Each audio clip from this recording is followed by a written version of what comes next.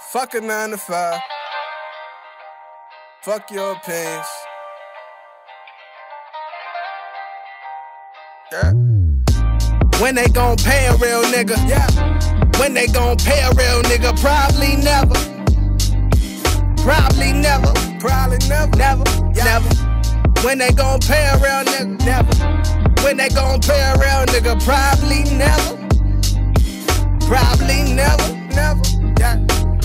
They ain't tryna pay me for my problems or duties. Just got off work like, where my dough at? Bring, bring, bring, bring me my shit, bitch. Y'all the motherfuckers talking about I made these stacks, I ain't got it though.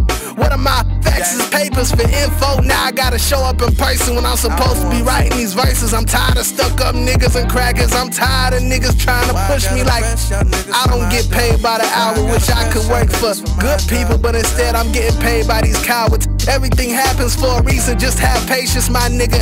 Every season comes with the leaves falling, please, darling. I'ma need way more than a doctor prescription for these tendencies. All these complicated situations aren't new to me. Are. How you hating in the HR department? All you really gotta do is pay a nigga, pay a nigga, pay a nigga. How you Pay a nigga. just sitting there Pay a nigga. pay a nigga. Nigga. That shit stupid. If I knew money was this important when I was younger, I would've saved a nigga. When they gon' pay a nigga? Yeah, When they gon' pay a nigga? for real. Yeah. I bet never. Yeah. Never. When they gon' pay a nigga? ain't tryna see. When they gon' pay a nigga? Yeah. They, always have. I bet never. Yeah. This bitch is sliding in and out my pocket like change. When I sit on the couch, that $37 mean a lot to me.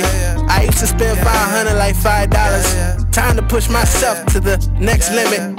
Even my fellow black men ain't trying to see a nigga survive or look in my eyes and watch me pull up in something that inspires Who got it? Who got or inspiring to a real version of a real person of a yeah.